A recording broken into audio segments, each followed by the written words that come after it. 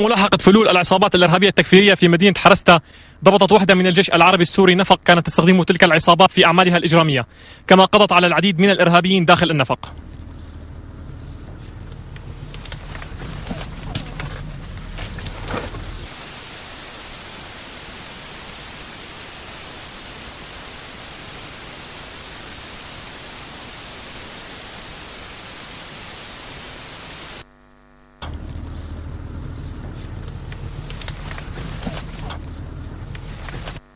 أثناء ملاحقة فلول الإرهابيين في مدينة حرستا بريف دمشق تم العثور على نفق بعمق 10 متر تحت الأرض كان يستخدمه الإرهابيين في تحركاتهم وتم القضاء على بعض الإرهابيين الموجود اللي, اللي كانوا عم يتحركوا ضمن النفق هذا.